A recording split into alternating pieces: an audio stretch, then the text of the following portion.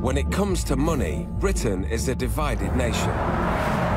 The gap between rich and poor has grown by a third in the last decade, and the north continues to fall behind the south.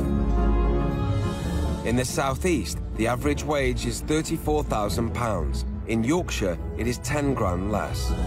I don't think there's any sort of great career jobs around here. Well, I don't know anybody that's got a great career job anyway. Poorer families here are the hardest hit. Goodbye. But how much does money really matter?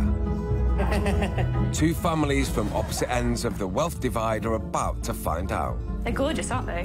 One in the south enjoying the rewards of entrepreneurial enterprise.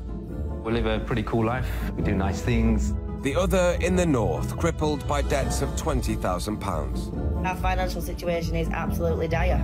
Let's do it. For one week, they are crossing the north-south and the wealth divide. Oh, this is cosy. Swapping homes, He looks gorgeous. budgets, 1,900. That's mental, isn't it? and lives. Keep going, keep going, keep going. To discover if money really does buy happiness.